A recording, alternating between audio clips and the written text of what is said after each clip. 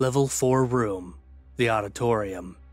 Survival Difficulty, Class 0. Safe, secure, devoid of entities. The auditorium is a room in level 4 and is typically where you can find Mickey performing. Description The auditorium is where survivors can regain the sanity they might have lost while traversing through the back rooms. The room is completely devoid of any dangerous entities, and through unknown means, somehow prevents dangerous entities from entering. Passive entities such as Dollface are still able to enter. How this filtering process is done is unknown. The auditorium consists of a large wooden stage with rows of blue, soft felt seats placed approximately 10 feet in front of it. Survivors who enter this room can watch an entity known as Mickey perform, typically in the form of stand up comedy, although he is also able to play instruments such as the piano and guitar.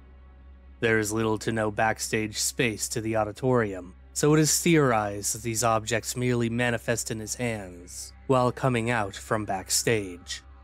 Whenever Mickey performs, spotlights shine at the stage while they are playing their music or singing and seem to turn off and on automatically, depending on if the band is playing or not, as there has been no reported way to control the spotlights manually.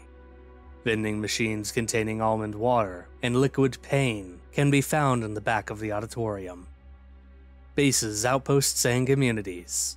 There are no known bases, outposts, or communities in this room. Entrances and exits. Entrances the auditorium can be entered by walking the red double doors, found in level 4. Exits. You can enter this room anytime by just going back through the double doors you entered in, or by walking through the exit door located in the back of the auditorium, beside the vending machines back to level 4.